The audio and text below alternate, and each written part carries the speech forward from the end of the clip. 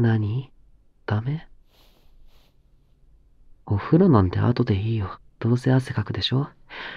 明日一緒にシャワー浴びよう。なんで？僕はお風呂入った後よりそのままの香りの方が好きだよ。僕がそのままでいいって言ってる。それでも嫌なら、このままでいいよね。大丈夫だよ。恥ずかしいとか気にしてる暇ないくらい、夢中にさせるから。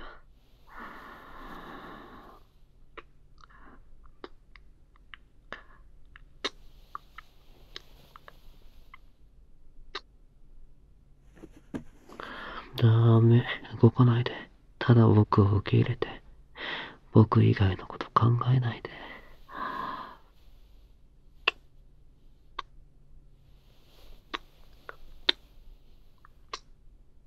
好きだよ。